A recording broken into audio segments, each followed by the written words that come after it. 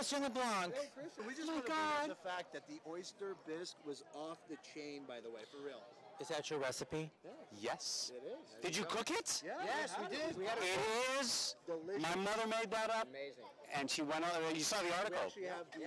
Oh my gosh, that's was cool. great. We had a, we had a chef cook all the dishes, and it was amazing. But did they go to New Orleans and shoot you? Shoot you? Yes, yes, we went. I mean, I asked, and they were willing to. yeah, I wanted to be because I know they were. It was a high-end idea. They wanted to, to take it up a notch, not just a cookbook about something.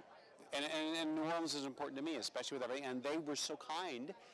J- John Pascal, everyone came down there. It's a, it's an artist's dream just to be down there anyway. But we did the photo shoot down there, and because it's so definitively about New Orleans, and it was a chance that he gave me to express something that was really important to me, which is the food, the city, and the history of it. And I, mean, I think we got that. So the three of you actually are telling me that cooking is something you love to do. I cook. I mean, that's uh, all my brothers in New Orleans. We cook. Look at me like that. Yeah, it's almost as important as eating. it's almost Yeah, it's uh, cooking and eating's more important. And then the. Yeah, and we're good. I'm good. I know he's don't about me, but he's good. He's you're good. Yeah. Yeah, he's good.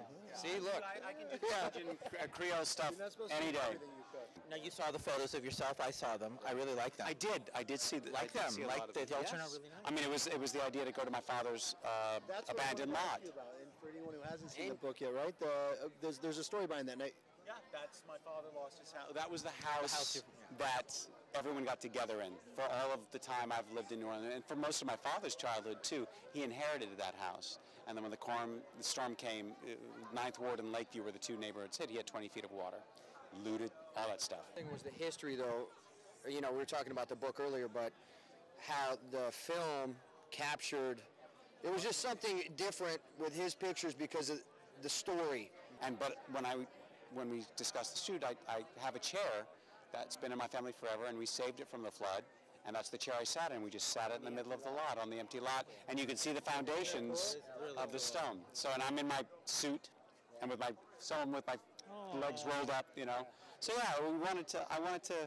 It's not heavy, and the city's coming back and stuff, but sometimes I forget. You when you go back, and there's certain Forget. places that it all comes back to you, and the yeah, it's it's the loss. But I mean, my father's like a little Eveready bunny, so if he can take it, you know, I can't. So you get stories like that. I mean, that's we didn't expect this. That was it was amazing that he even wanted to do that. So But it was appreciate you know, it. You talk to other people, and it was like if you could express, it was a chance to express something more than. And cooking is definitive for the people who understand it, and, and your family and that history. It, it is a, it's, and I'm a fan of cook. I mean, I you're in the city where you, I have some of the best cooks and stuff like that, and there are more restaurants there than now than than before the storm. But it's it's.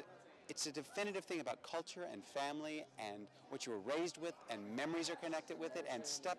Yeah, exactly. There's, in, smell, there's probably nothing one of the most definitive things about your life is about oh these are my mother's meatballs this taste i have is from a thousand now brings home a thousand things and it's